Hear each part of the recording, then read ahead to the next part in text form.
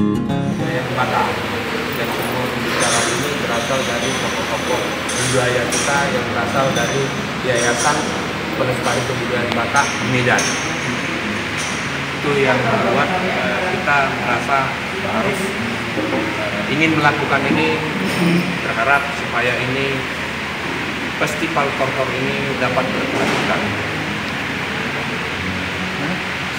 Termasuk pesertanya sendiri nantinya Pak bisa disampaikan sedikit? Uh, peserta itu itu dari punguan-punguan marga, naposo punguan marga, baik itu uh, parsa dan marganya, misalnya Tuan di Bangarna, boleh boleh ikut Tuan di Bangarna, boleh juga ikut Siegian, Panjekan, Silitonga, Sianipar.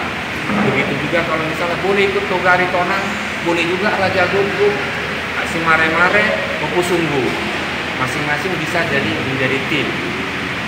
Kira-kira begitu.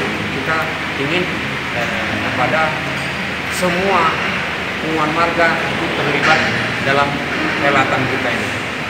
Tapi Pak terkait peserta itu nantinya, apakah ada aturan yang dibuatkan panitia mana satu tim harus sekian? Ya, itu teknis pasti ada peserta itu 9 sampai 19 orang masing-masing tim peserta.